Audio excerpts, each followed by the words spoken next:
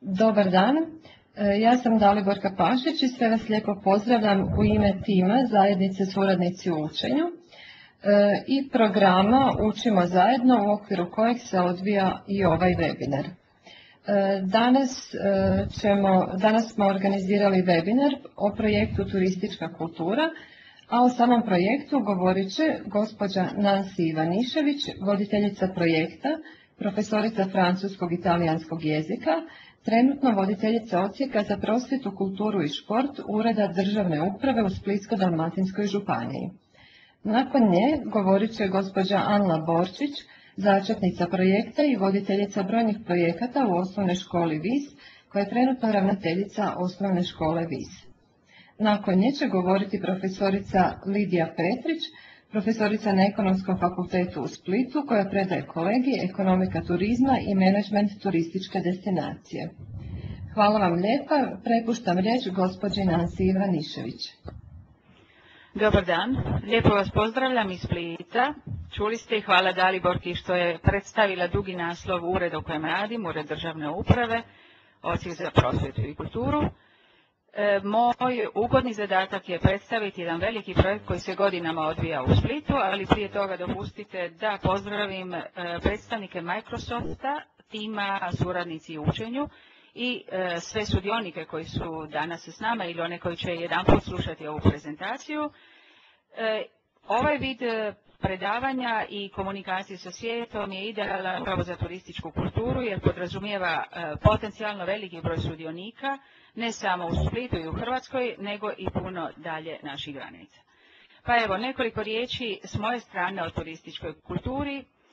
E, ja bih se pozvala na, e, na temeljnu odrednicu projekta koja nam je svakako e, vrlo, vrlo značajna i koju smo pronašli u analima UNESCO Ovdje možete zajedno sa mnom pročitati definicija idealnog turizma kaže koliko je važno utvrditi vlastiti identitet, upoznati i štovati tuđe identitet. Po njoj se turizam shvaća kao privilegirani vektor interkulturalne razmjene, škola tolerancije u kojoj su svakome dostupne drugčije kulture i koji ljudima dozvoljava da iz prve ruke osjete različitost kultura i životnih stilova. Naši ciljevi koje smo e, utvrdili u momentu e, prezentacije ovog projekta, a to je bilo već davne 2003. godine, su sljedeći. Ja ću o povijesti projekta upravo e, za, za par minuta, no ovdje mislim da moramo reći ono što nam je svima na duši prije nego krenemo isključivo u prezentaciju projekta i njegovih različitih faza. Visoko na prvom mjestu to je spoznaja i otkrivanje vlastitog identiteta kroz istraživanje kulturnih, prirodnih i drugih lokalnih vrednota. E, stjecanje saznanja o tuđem identitetu, dakle pratimo se s UNESCO-om definicijom, ali to je uistinu e, i naš, i naš e, najširi mogući cilj i naš najširi mogući interes. Uvažavati jedni druge sa svim vrijednostima jasna stvar da je to i temelj demokracije. No, e, učenje osnovama turizma, danas je tu i profesorica Lidija Petrić, turizam je druga najznačajnija odrednica ovog našeg projekta, dakle identitet i turizam, kroz sve moguće vidove kreativnog i timskog rada, a onda ono što je djeci danas tako blisko, to je poticanje na poduzetništvo. Uvjerili smo se da učenici uključeni u ovaj projekt pokazuju iznimne poduzetničke sklonosti i iznimne rezultate nakon ostvarenja svojih zamisli. A sve ostalo ide zajedno sa ova tri najvažnije, tri najvažnije zadaće projekta. Učiti u duhu održivog razvitka i misliti pritom na ekologiju, komunikaciju, strane jezike, pristojno ponašanje, turističko vođenje, biologiju, prirodu i tako dalje i tako dalje. Ovdje možemo vidjeti u kako e, lijepom i brojnom e, smo sastavu e, vodili i sudjelovali u ovom projektu, ali i koliko je on složen u svojoj realizaciji. Malo prije smo rekli i čuli u najavi da je ravnateljica osnovne škole VIS i osnovna škola VIS da su inicirali ovaj projekt ja i ovom prigodom zahvaljujem gospođi Aneliju Bočić koja je s nama sad u webinaru na činjenici da je svojom suradnjom e, sa Slovencima i sa e, slovenskim projektom turističkog odgoja upoznala i nas u Hrvatskoj, prije svega prostor Splitsko-Dalmatinske županije, tako da smo mi iz ureda i ja osobno mogli se uključiti u taj projekt zagovarajući ga kod drugih škola, kod drugih kolega i kod drugih učenika. Ostali smo u poziciji vođenja cijelog projekta koji je e, daleko nadrastao okvire ove županije i e, broj naš iz prve godine 2003. kada je u projektu sudjelovalo samo šest osnovnih škola. Moram odmah reći da je vrlo važna uloga pokrovitelja e, ovog projekta jer je Bistra kao proizvođač e, poznate vode zapravo e, u vidu svoje korporativne suradnje sa društvenim okruženjem prepoznala projekt utvrdila da je projekt koji započinje na lokalnoj razini potencijalno e, zanimljiv e, nacionalnoj razini, pa možda čak i međunarodnoj razini. U tiskanju naših materijala e, pomogla nas je školska knjiga i evo tu stavljamo i Microsoft koji uvodi svoje novitete i koji nam pomaže na način da nam razmičete granice koje materijalni svijet nameće. E, srednje školstvo i visoko školstvo, e, čujemo da je tu ekonomski fakultet u Splitu, ali jednako tako srednja turistička škola gdje su kolegice profesorice turizma priređivale materijale koje smo imali tijekom e, realizacije ovog projekta.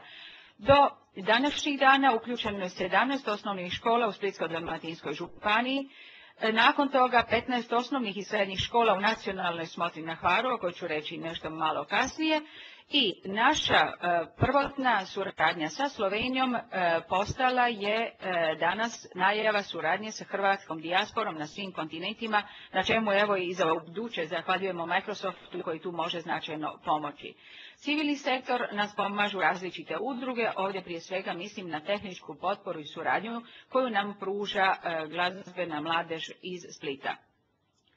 Cilj našeg projekta, ono što je uistinu svima nama najvažniji i zato smo tako uporni u ostvarenju ovog projekta, jest uvesti novi predmet, bio on redovni ili izborni predmet, on za nas kroz e, tijek njegove realizacije sjajno uklapa u HNOS, Hrvatski nacionalni obrazovni standard, da bismo ga danas jako dobro prepoznavali u novom e, obrazovnom kurikulumu. Ovdje smatram e, vrlo važnim naglasiti da je 1983. godine grad Hvar imao svoj lokalni predmet koji se zvao turistički odgoj i predavao ga je gospodin Duško Kovačić, današnji ravnatelj osnovne škole Hvar. Metode koje smo primijenili su klasične metode, to je timski rad na razini škola, e, vrlo kreativan istraživački pristup koji su pokazali i učitelji, voditelji grupa i učenici i rad u razredu i rad izvan njega. Naglašavam da su učitelji, voditelji grupa e, ne samo povjesničari ili e, likovnjaci, već su to profesori svih predmeta i vrlo e, značajnim e, vjeronaukom, znači likovnjaci, povjesničari, geografi i tako dalje. Predmet i projekt su prolazili kroz dvije velike faze, to je prva od 2003. i 2006. kad smo ga pomogli da zaživi na osnovnim školama Otoka, Splitsko-Dalmatinske županije, Priobalja i Zagore. Uključeni su učenici iz završnih razreda osnovne škole, tada se realiziralo tematske izlete i isto tako županijsku smotru u Dioklecijanovim podrumima. Tematski izleti su nas odveli u Muča s njegovom povješću i sadašnjošću, prirodnim i spomeničkim e, značajkama, Solina, Kaštela e, i Visa, a županijska smotra se odvila e, tako da su svi sudionici pokazali svoje programe i svoje uratke. Izdan je u izdanju školske knjige zbornik učeničkih radova koje možete vidjeti na našoj web stranici koju evo ovdje možemo i pokazati. Na web stranicu su stavljeni svi naši dosadašnji radovi, tako da i vidite škole koje su uključene, e, linkove koji su za nas značajni i nešto o povijesti projekta. U drugoj fazi e, koju isto pokušavamo pratiti na web stranici, a nadam se da će to biti jedan web portal. E, objavili smo u 2008. godini godišnji natječaj i nacionalnu smotru u gradu Hvaru te evo pozivamo da se uključi dijaspora. Pa evo tu možemo samo vidjeti vrlo kratko, 2003. E, početak projekta, koordinacija iz ovog ureda, iz ovog ocijeka, naši tematski izleti, e, web stranica i naš nacionalni natječaj upućen cijeloj Hrvatskoj, najbolji domaćini to smo mi, Hvar je okupio najbolje koji su se uključili u taj natječaj, e, organizirao program i okrugli stol je još jedanput u, u e, suradnji različitih stručnjaka potvrdio koliko je to poželjan predmet u odgojno-obrazovnom radu e, u Hrvatskoj, a i van ovih naših granica. U drugom dijelu e, ono što nam je svakako značajno to je sve češća pojedinačna primjena u školama i prepoznavanje od strane voditeljstva škole, kompatibilnosti sa zadrugarstvom, povijesnim i drugim grupama. Mi dalje inzistiramo na tome da se materija uključi u NOK, nacionalni obrazovni ili okvirni kurikulum.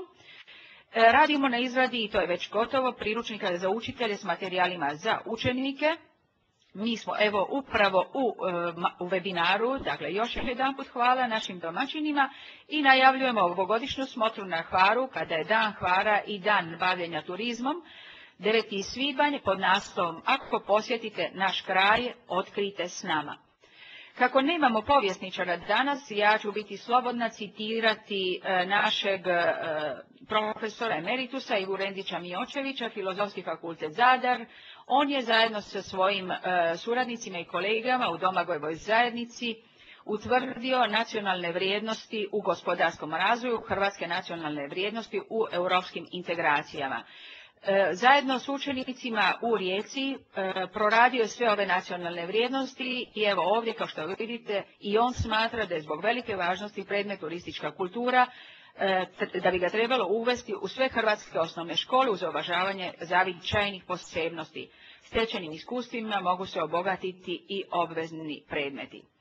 Meni ne preostaje ništa drugo nego da vam za sad zahvalim svima na pažnji koji ste bili uključeni, da zahvalim svim sudionicima, a moram reći da je bilo preko 50 odraslih stručnih sudionika iz različitih perspektiva i jednako tako preko 300 učenika na e, razini cijele Hrvatske. Dragocjen doprinos projektu, ali ono što je moja velika nada da to neće ostati samo na projektu, nego da će to u istinu prerasti u nešto u čemu će hrvatska mladež učiti i, i prepoznavati samu sebe. Ja zahvaljujem osobno i najavljujem gospođu Anelu Borčić, ravnateljicu osnovne škole VIS.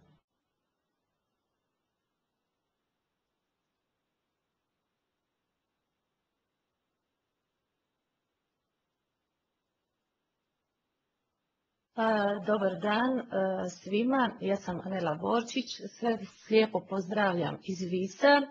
Dopustite da pozdravim i Microsoftov tim i sve koji će se naknadno uključiti i pogledati e, ovaj webinar. E, ja ću vam o turističkoj kulturi govoriti iz svoje perspektive, iz perspektive inicijatora projekta jednog od voditelja, ali i čovjeka koji radi sa učenicima u praksi. Znači, radila sam u školi vodeći pilot projekt turistička kultura i znam kako su djeca reagirala na njega i koje sve dobrobiti i blagodati on, ako se pametno iskoristi u našem odgojno-obrazovnom sistemu, može dati. Projekt je e, započeo e, na temelju međunarodne razmjene učenika, odnosno njemu je prethodila međunarodna razmjena učenika između osnovne škole Vis i osnovne škole Lovrenc na Pohorju, Republika Slovenija. Naime, 2000. 2001. osnovna škola Vis je započela ovu suradnju koja je trajala četiri godine i koja je za jedan mali otok kao što je Vis donijela velike rezultate. Njen cilj je bio ublažiti specifičnu zatvorenost otoka, otkriti nove vidike, ali i osvijestiti učenike o vrijednosti i važnosti svoje kulturne baštine. Projekt je predstavljao nadogradnju naučenog u školi, ali i nastojanje da ona prerasta svoje okvire i dobije novu životniju dimenziju. Moto projekta kojeg smo provodili bio je upoznajmo druge i predstavimo sebe najbolje što možemo. Dakle, učenici su već tada bili u poziciji da e, predstave svoj kraj, da predstave ono što oni najbolje znaju, ali isto tako da otvore oči i da dobro upoznaju taj e, tuđi kraj potpuno, potpuno različit od onoga iz kojeg su e, došli. Suradnja se je ostvarivala kroz zimsko i kroz ljetno druženje učenika.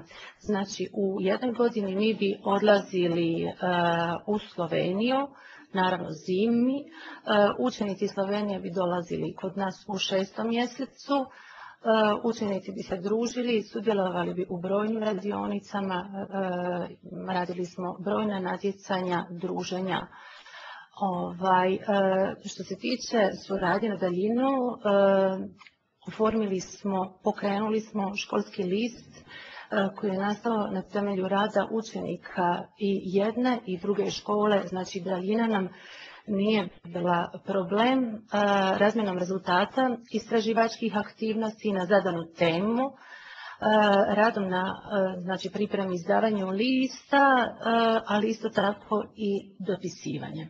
Njegovom provedbom učenici su naučili kako prezentirati svoj otok i svoju domovinu kroz predstavljanje njegovih običaja, kulture i ljepota. Osjetili su ljepotu kulturne i nacionalne pripadnosti svom narodu i mogu vam reći da sam po prvi put osjetila kod učenika ponos, znači ponos što imaju pokazati jako, jako puno, ponos što pripadaju e, Hrvatskoj, ponos e, što su dio jednog malog otoka koji znači ima i veliku kulturnu baštinu koju su eto, oni bili prvi put u poziciji promovirati u svijetu. E, kroz projekt su stekli osnovna znanja o turizmu, o turističkoj promičbi, osjetili su radost dobrog domaćina, ali isto tako otkrili su koliko je važno biti e, gost koji e, promatra, e, uči, znači kroz praktičnu nastavu. Evo, ova naslovnica našeg zajedničkog školskog lista učenika osnovne škole Vis i osnovne škole Lovrenc na Pohorju. Suradnja škola je potakla živu turističku aktivnost između ova dva mjesta. Znači, nastavila se suradnja na različitim nivoima, e, roditelji su se družili, e, gradovi su se bratimili, e, jako, jako puno ustanova se uključilo u suradnju i ona još uvijek traje, a isto tako ne mogu one spomenuti blagodati tog obiteljskog zbližavanja koji traju, koji su nadrasli projekt i traju i dan danas. Suradnja je otvorila i nova promišljanja o zastupljenosti visini turističke kulture naših učenika i o mogućim korisnim turističkim aktivnostima osnovnoškolaca inače. Projekt Međunarodne razine učenika vremenom je prerastao u pilot projekt Turistička kultura, zahvaljujući uključivanju Ureda državne uprave u Splitsko-dalmatinskoj županiji, naravno ocijeka za prosvjetu i kulturu, gospođe Nanci Ivanišević, koja je, kojoj moram zahvaliti da je projekt odmah prepoznala i da nije bilo njenog vodstva i njenog forsiranja. Mislim da ne bi on bio dan danas plodonosan ovoliko. Ali naravno i potpori e, sponzora koji su ga prepoznali. Evo, ovo, je, ovo su e, sličice e, našeg druženja u Sloveniji. Znači, viški učenici u Sloveniji. Prva slijevo prikazuje jednu od radionica, ovo je likovna radionica Učenicima je bio dan ispunjen od jutra do mraka, sudjelovali su znači, u likovnim, u glazbenim, prirodoslovnim radionicama, imali su organiziranu školu skijanja, navečer su se družili, naravno predstavljali smo svoj otok najbolje kako smo znali i mogli. Druga slika s desna prikazuje učenice tu smo bili u posjeti jednoj gospodarskoj farmi krava, učenici tu slasno jedu te proizvode koje inače onako u svakodnevnom životu ovaj, često puta i, odbijaju. Gore je bilo sve ukusno i sve dobro. Zadnja slika slijeva je sa posjeta Zlatnoj listici kraj Maribora, znači zatekli smo se gore kad je skijala Janica i otišli smo organizirano ju bodriti. Mislim, to je jedno prekrasno iskustvo učenika koji neki su tu i prvi put u ovoj razmjeni vidjeli snijeg onako baš kako treba. Ovaj, pilot projekt se širi, sve više je zainteresiranih, uključuju se sve više i više škola u Splitsko-Dalmatinskoj županiji, tako da smo na kraju imali 250 ljudi i 30 učitelja mentora u njemu. Danim radom na projektu otkrivamo da je i osnovna škola Hvar imala još davne 1983. godine izborni predmet E, turistički odgoj. U njemu se još onda sustavno promišljalo o turističkom odgoju užeg zavičaja, a predmet je predavao današnji ravnatelj osnovne škole Hvar, gospodin Duško Kovačić. E, u svim školama nastaju brojni projekti vezani uz turističku kulturu, kao poticaj turističke aktivnosti u svom kraju. U našoj školi e, su nastali isto tako brojni projekti kao što su Škojna pjac, zatim crkva i utvrd otoka Visa, zatim imamo zimu na otoku, to je suradnja sa akademijom, e, likovnom akademijom sveučilišta u Zagrebu, zatim formiranje zavičajnog muzeja u školi, viška konoba i tako dalje. Znači, e, turistička kultura nas je potakla na, na sustavno promišljanje o e, svojoj materijalnoj i nematerijalnoj baštini, o kulturi e, vlastitog kraja, o načinu e, njenog osmišljavanja i e, prezentiranja čak i u svijetu. Evo, Škoj nam pijat, e, knjiga recepata i običaja od okavisa, ja bih nekoliko rečenica rekla i o njoj, jer se znači povezuje sa turističkom kulturom, proistakla je na neki način potaknuta njome.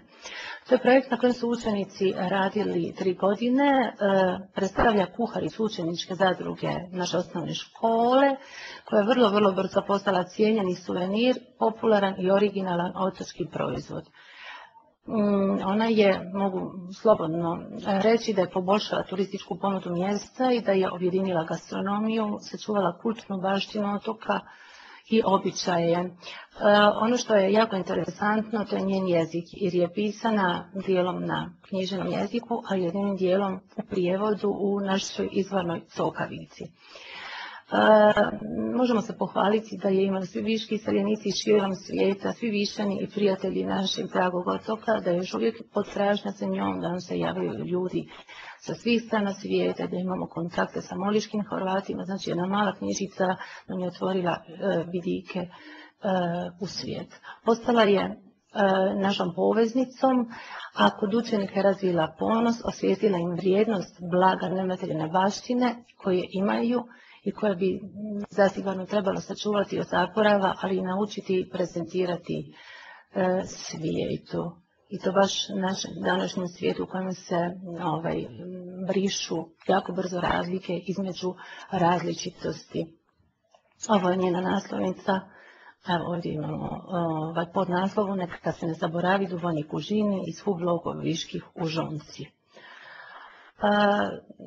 Ovo je isto jedan mali prikaz naše učeničke zadruge, kraj stola na kojem su izloženi njihovi proizvodi. Tu vidimo marmelade, likere, bruštulano mendule, sušena aromatično bilje. Znači oni su kroz rad u zadruzi naučili kako uzeti najbolje od otoka i kako to prezentirati svijetu, ali isto tako na koji način i zaraditi od te prezentacije Znači, tu već vidimo natruhe promišljanja o gospodarstvu, Vjerovatno će neko od ove djece uzeti mali obrt, vjerovatno e, kao svoje e, i konačno zanimanje.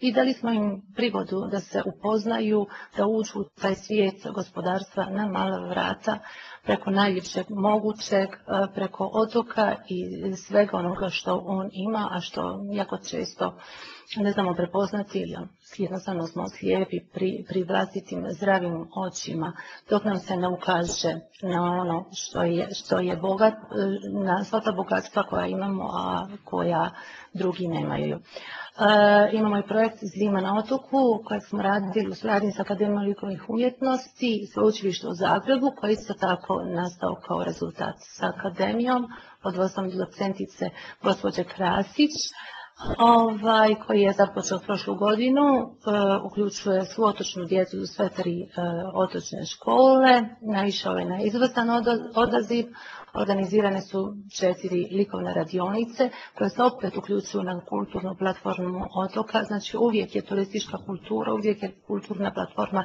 otoka ono ishodište našeg rada, e, temelj e, cjelokupne aktivnosti. Naš cilj je bio potaknuti učenike na kvalitetno i kreativno izražavanje, odvojiti ih od ulice, ali ukazati na mogućnost budućeg zanimanja. E,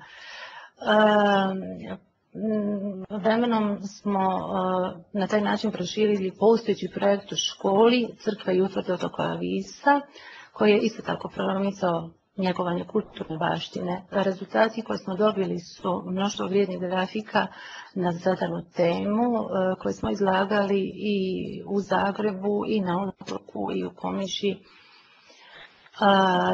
i koje su e, u fundusu e, naše škole, znači dostupne svima koji su zainteresirani za njih. Ovogodišnji projekt naših radionica je ide na temu mitovi i legende e, otoka Visa, znači postojeće se radionice proširuju s radionicama mozaika koje će voditi redoviti profesor akademije, stručnjak svjetskog glasa, gospodin Milun Garčević. Evo, ovo su e, dva detalja e, iz prošlogodišnjih radionica znači učenici sa studentima u dokumentacijskoj i grafičkoj radionici. Evo ovdje desno dalje vidimo jednu slikanu rozetu iz e, naše župne crkve. E, projekt crkve i utvrde otoka Visa e, isto tako iznikao iz turističke kulture, i jednako ima cilj zaštitu naše kulturne baštine. Učenici su e, prikupili arhivsku građu na spomenutu temu, fotografirali su sve crkve i utvrde na otoku, zatim su organizirali izložbu fotografiju, proveli su istraživački rad crkva i utvrde otoka Visam, e, njihova popularizacija, izrada suvenira i brošure. Izrađeni su keramički suveniri na zadanu temu, izdane brošura i zanimljiv interaktivni CD i na taj način smo poboljšali turističku ponudu otoka i doprinijeli razvoju svijesti o vrlo često zapuštenoj materijalnoj baštini. E, njime smo, e, predstavljajući njega, smo sudjelovali na snoti turističke kulture e, na otoku Hvaru. Evo ovdje vidimo detalje, jednu od nastalih grafika na temu crkve i utvrde otoka Visa, Dolje s desna druga sličica prikazuje suvenire otočnih crkvica i utvrda. Sve su ovo učenički radovi, rađeni su u keramici, jako su interesantni i naravno svi su originali i ovo ljeto se baš pojavila jagma za našim proizvodima, tako da nije ih problem pokloniti, prodati, problem ih je sačuvati i problem ih je proizvesti onoliko koliko bi e, bilo potrebno. otoku. Imamo na koncu projekt formiranja zavičajnog muzeja škole, nazvali smo je Viškom konobom, koji se tako predstavlja dio našeg sustavnog rada na očuvanju kulturne baštine otoka, ali u svakom slučaju i njegove turističke promidžbe. Cilj nam je bio pri ovom projektu očuvati tradicionalne vrijednosti vinogradarstva, stoljećima najvažnije gospodarske grane na otoku. I naši učenici, predvođeni učiteljem povijesti, povijesti i geografije, gospodinom Miroljubom Bunčićem, su skupljali predmete vezane za vinogradarstvo i vinarstvo. To su stari zaboravljeni predmeti i do neki su jako, jako teško dolazili. ovaj, sve što su prikupili izložili su u jednom dijelu naše škole. Trenutno prikupljaju stare priče pričice vezane za temu, a cilj nam je izlaganje starih predmeta kao dio očuvanja tradicije, ali isto tako izrada kataloga i zbirke starih otočnih trežačkih priča koje se zaboravljaju u ovom svijetu moderne tehnologije. Kad jako često ako propustimo priliku zapisati i, i uzeti ono što stariji znaju jako često to biva trajno zaboravljeno. Evo imamo ovdje e, prikazan dio našeg zaviđenog muzeja u školi gdje vidimo znači sve ono što je danas odbačeno, a nekad e, od životne važnosti naših težaka i vinogradara. E, ovdje vidite učenika koji vodi grupu ravnatelja po lokalitetu Antičke Ise. Naime, e, cilj nam je e, oformiti na novo e, grupu vodiča koji će provesti buduće goste škole na temu Ako dođete u moj kraj, otkrite s nama, koja je ujedno i tema buduće smotre turističke kulture na Hvaru. E, uzeli smo e, kao moto, potku e, našeg ovogodišnjeg projekta Mitova i legenda otoka Visa. Istražujući njih pokušat ćemo provesti naše drage goste kroz otok na jedan sasvim drugčiji originalan način, prikazujući im sve ono što nisu znali, nisu čuli i nikad nisu vidjeli, znači prikazat ćemo otok iz svoje perspektive, govoreći im o mitovima i legendama. E, I na taj način ćemo opet prikazati njegovu prebogatu kulturnu baštinu. Eto, za sada toliko, ja se zahvaljujem.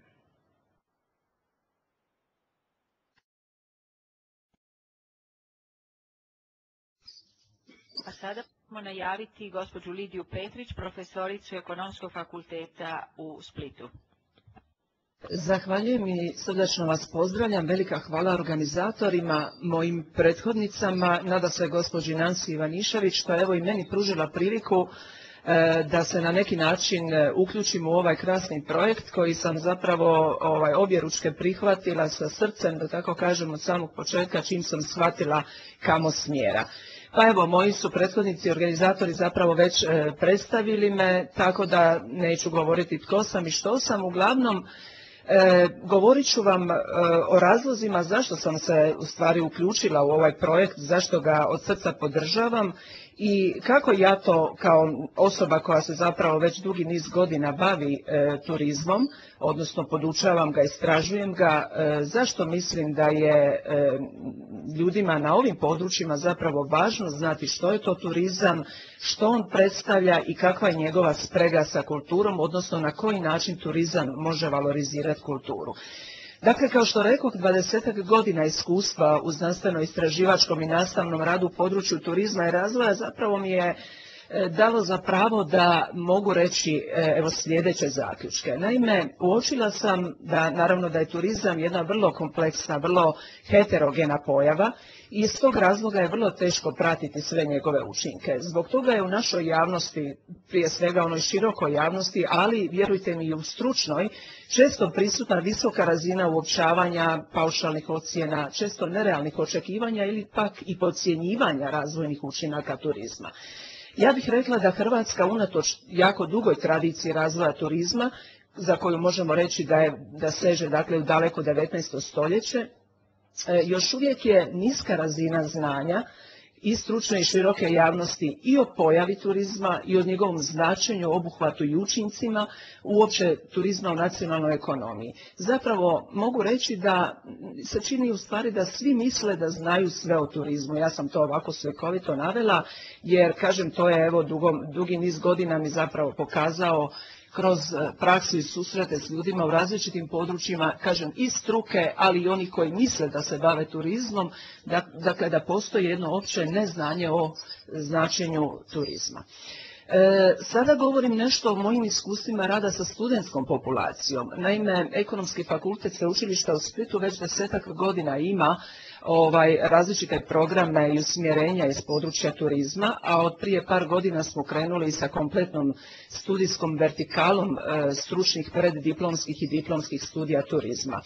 Dakle, e, razgovori sa studentima zapravo mi pokazuju da oni uočavaju tu multifunkcionalnu prirodu turizma i dinamičnost, globalni karakter i da je zapravo to bilo presudno u njihovom odabiru studija, odnosno svog budućeg zanimanja u turizmu. No s druge strane postoji jedna druga situacija. Naime, upravo ta kompleksnost turizma kao jednog sustava koji je sastavljen od mnoštva elemenata, djelatnosti, dionika razvoja, od studenta, studente naime često stavlja pred jedan dosta zahtjevan zadatak, a to je da moraju i abstrahirati, dakle sistemski razmišljati, mrežno, problemski, da tako kažem, što često zna djelovati kao ograničavajući faktor u razumijevanju materije turizma, posebno ako se prvi put s njome susreću.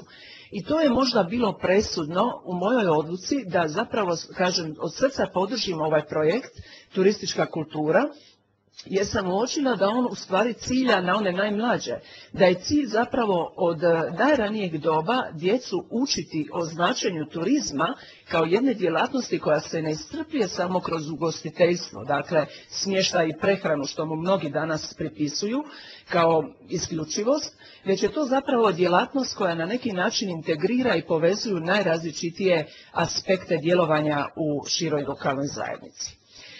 Da bi vam u stvari osnažila ovu priču, dozvolite mi da kažem par riječi, u stvari da malo dociram, pošto mi je to nekako i profesionalna deformacija, što to zapravo turizam jest i koji su u stvari njegovi učinci, a onda na kraju ću zapravo reći kako to turizam percipira kulturu kao resurs.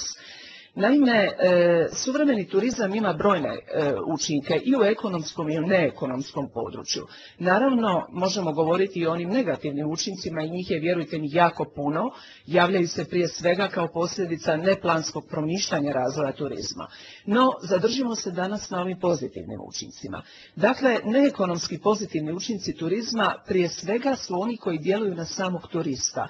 Kroz, dakle, zdravstvenu funkciju turizma, socijalnu, obrazovnu, kulturnu, i mnoge druge. No naravno, ovi neekonomski učinci turizma mogu se uočiti i u receptivnoj lokalnoj zajednici, dakle samoj turističkoj destinaciji u kojoj se zapravo dešava susret različitih kultura, dakle ljudi koji su nositelji različitih kultura i običaja. Zato kažemo da zapravo neekonomske funkcije turizma može i tekako osjetiti i lokalna zajednica. E, o tome je moja prethodnica profesorica Bočić jako lijepo ispričala kroz primjer njihove suradnje sa Slovencima. E, što se tiče daljnjih ekonomskih učinaka turizma, turizam zapravo ima jednu savršenu e, ulogu da brojna neprivredna dobra, dakle dobra koja možda nikad ne bi donosila ekonomski, e, ekonomski dohodak, dakle ekonomsku dobit, kao što su, ne znam, prirodni resursi, kulturni resursi i tako dalje, daje svojevrsnu ekonomsku dimenziju, odnosno omogućava da postanu ekonomsko dobro. To je ta famozna konverzijska funkcija i učinak turizma. Nadalje, turizam Turizam dakle nije jedna jedinstvena djelatnost. On je zbir povezanih djelatnosti koje zapravo zajedno čine dio ukupne turističke ponude. Zato zapravo imamo i mogućnost govoriti da je dio turističke ponude, turističkog proizvoda i poljoprivreda i zapravo arhitektura i građevinarstvo kroz svoje neke estetske vrijednosti i e, kultura u najširem smislu riječi i naravno onaj ugostiteljski dio e, sektora koji, kažem, percipiramo kao nositelja zapravo ove djelatnosti.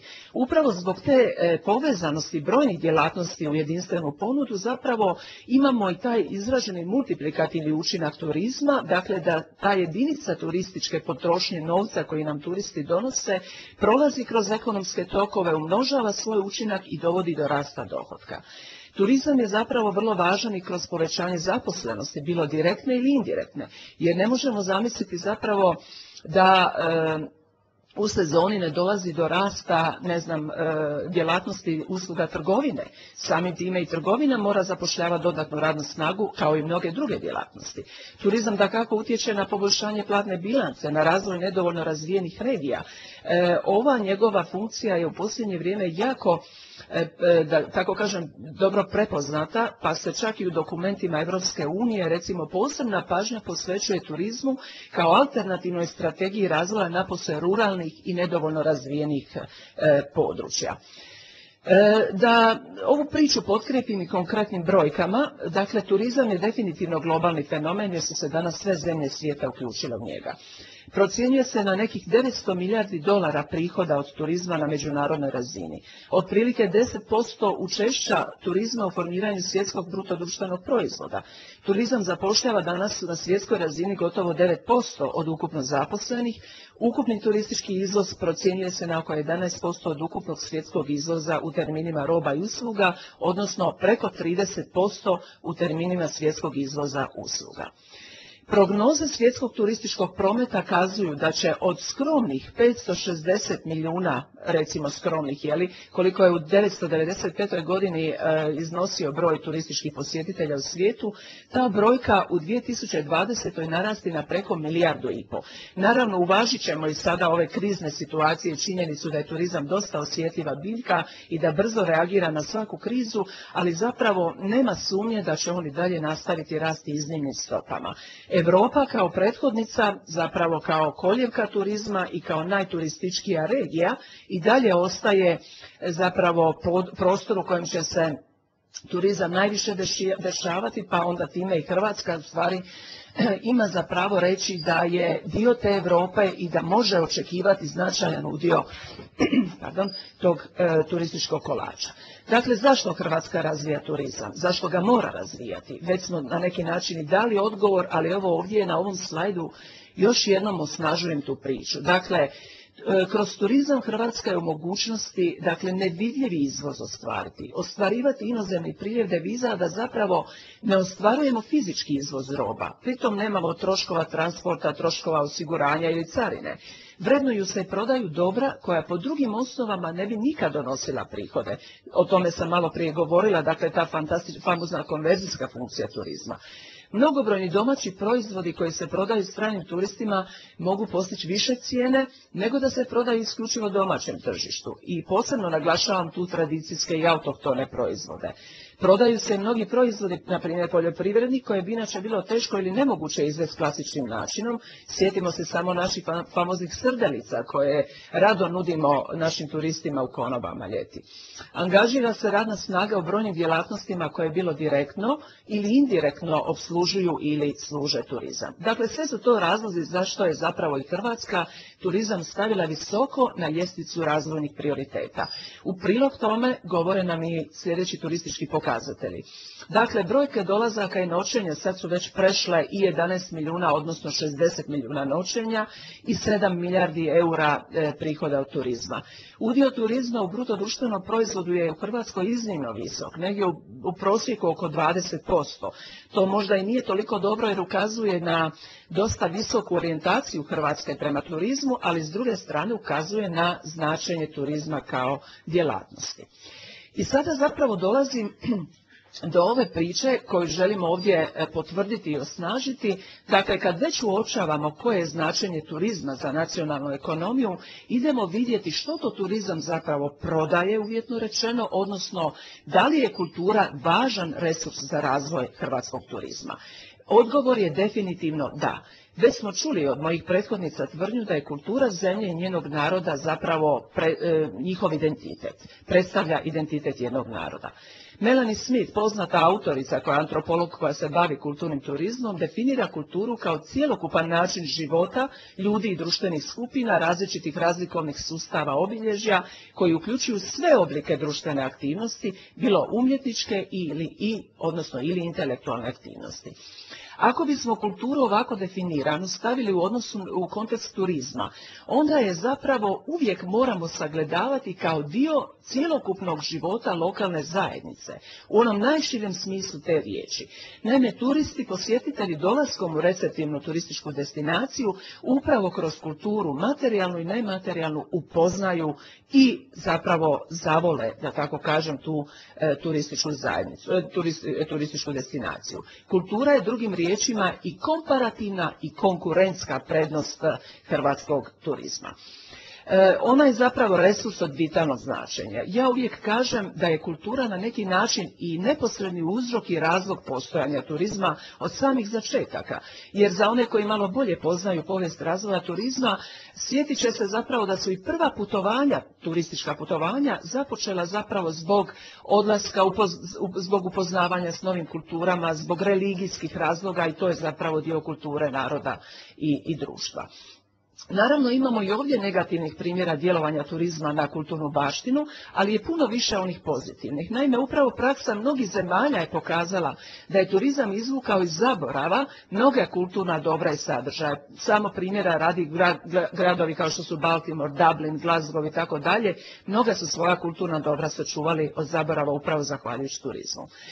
Hrvatska nije zanemarila značenje kulture za razvoj turizma. Već 2003. godine Ministarstvo turizma je u suradnji s Institutom za turizam izradilo strategiju razvoja kulturnog turizma, dokument koji je dostupan i na web stranicama ministarstva.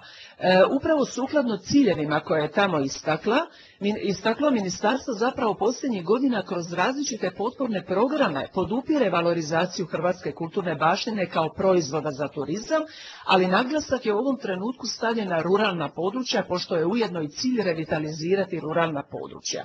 Evo ovdje imamo i neke e, programe, kao što je razvoj turizma na selu, e, zatim poticanje zaštite obnove i uključivanja u turizam baštine u turistički nerazvijenim područjima, zatim poticanje razvoja tematskih turističkih turističkih puteva, izrade i plasmana suvenira. Dakle, sve su ovo projekti Ministarstva turizma koji se mogu naći na e, njihovim web stranicama i zapravo njihovi su pozivi stalno otvoreni za sve koji žele dobiti sredstva, namjenska sredstva za realizaciju ovih projekata. Europska unija je također aktivna u potporama zajedničkih aktivnosti turizma i kulture. Već daleke 64. godine Europa, Vijeće Europe zapravo definira nekoliko ciljeva. Podići svijest o europskoj kulturi putem putovanja, razmotriti mogućnost uspostavljanja turističkog networka s kulturnom geografijom Europe i promovirati glavne atrakcije i raskrižja europske civilizacije kao interesantna turistička odredišta. Temeljem ovih ciljeva kasnije je nastao niz zapravo projekata, između kojih sam istaknula europske kulturne itinerere, koji danas zapravo uključuju preko 2000 partnera i gotovo 30 različitih tema. I inicijativa Europski gradovi kulture koji zapravo gradovima daju mogućnost da iz europskih fondova dobiju sredstva za revitalizaciju spomeničke baštine, kulturnih događanja, naravno sve u cilju privlačenja većeg broja turističkih posjetitelja. Dakle, kulturni resurs je kulturni turistički proizvod u turizmu.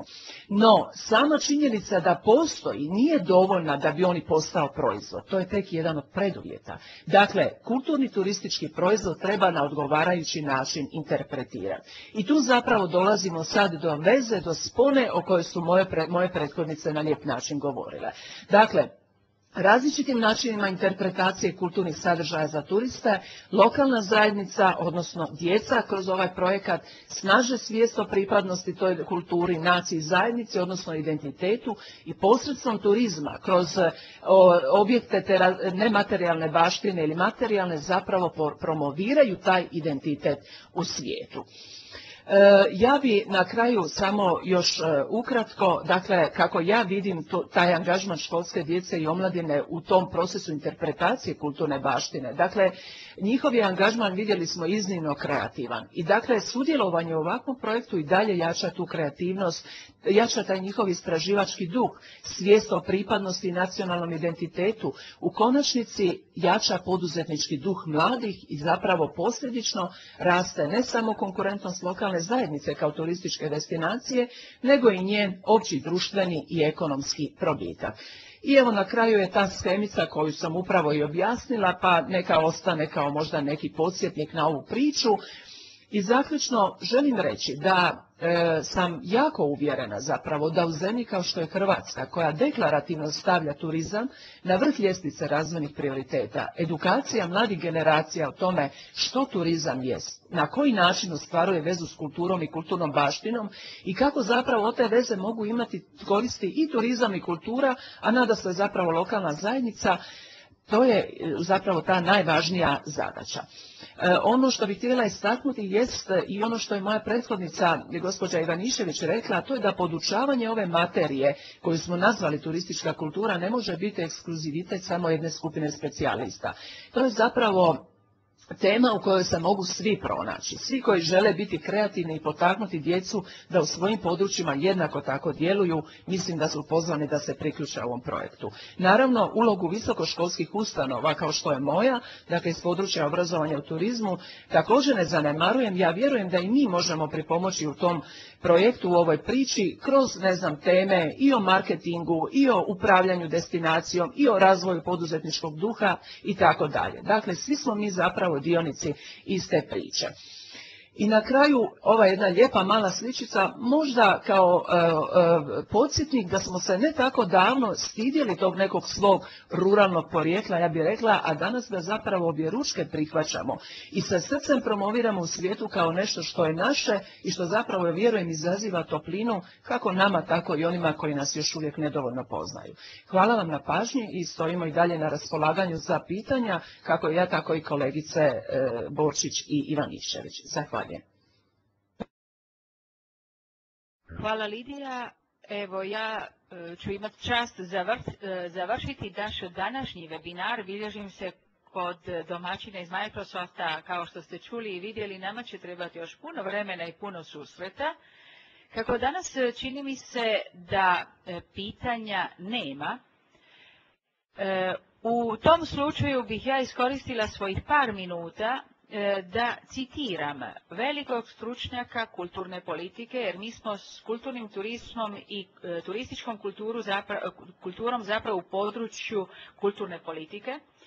E, poznati svjetski stručnjak Charles Landry, koji je proučavao hrvatsko izvješće kulturne politike, on je zajedno sa svojim timom specijalista i stručnjaka Vijeća Europe donio jedan zaključak koji nas se tiče svih u Hrvatskoj. Hrvatska strategija mora biti jednako, turizam je kultura. Oni se zalažu za ponovno otkrivanje kulturnog turizma u Hrvatskoj, nastojeći iskoristiti e, sve hrvatske kulturne resurse kao njezine ključne prednosti. Program je za stručnjake puno širi od obilazaka lokaliteta baštine, crkava i muzeja, iako su i oni važni. Treba veličati svake aspekte hrvatske kulture, hranu, vino, krajolik, aktivnost i zanos, ljudi pa čak i jezik. Nastoj turista povezati s lokalnim stanovništvom i svakog turista pretvoriti u kulturnog istraživača i pronalazača. Na taj način želi da turisti postanu putnici s izraženom željom da shvate Hrvatsku i nešto joj daju za uzvrat. Ta politika se temelji na načelu da se lokalni resursi iskoriste gdje je god to moguće i da budu izrazito hrvatski. Cilj je sezonu proširiti izvan ljeta, proširiti geografsko područje izvan plaže i na unutrašnjo zemlje, jamčiti održivost, poticati razvoj malog poduzetništva i gospodarski napredak. A sve to skupa mogu samo budući stručnjaci koji su trenutačno učenici i primorskih i otočkih i kontinentalnih škola. Na pitanje koje čitam iz e, postavljenih pitanja, planiramo li suradnju sa školama u kontinentalnoj Hrvatskoj? Da, planiramo suradnju, već imamo ostvarenu suradnju i evo upravo ovih dana krenuo je ponovni naš poziv na ovogodišnji natječaj smotru na Hvaru. E, malo prije smo rekli, otkrijte zajedno s nama naš kraj, Pozivamo sve učenike iz e, svih dijelova Hrvatske da se uključe i ono što je naša velika satisfakcija i veliko zadovoljstvo je činjenica da se uključuju škole, kolege iz Slavonije, iz Zagorja, iz Istre, iz Dubrovnika, iz e, Like, iz e, Međimurja. Neupitno je da turistička kultura zaživljava u praksi. Ono što očekujem i kao voditeljica ovog projekta veliko i, i zahtjevnog recimo, to je da nam odgovore oni koji ga mogu staviti u sustav na zasluženo mjesto. Evo, ovim ja zahvaljujem svim sudionicima, svim domaćinima, onima koji su se danas uključili, a i onima koji će imati strpljenja poslušati ovu prezentaciju nekom drugom prigodom. Hvala i doviđenja. Ja bih još zahvalila gospođi Ivanišević Borčić i gospođi Peteć na ovom prekrasnom predavanju, na ovom webinaru. Meni je osobno bilo izuzetno zanimljivo, a vjerujem i svim ostalim sudionicima. Nažalost, danas ih baš i nije bilo puno, ali vjerujem da će veći broj sudionika pogledati snimku ovog webinara. Zamolila bih samo, ako još imate malo vremena, da ispunite anketu kako bismo znali i saznali vaše mišljenje o ovom webinaru. Hvala vam lijepa i svima do sljedećeg viđenja i slušanja.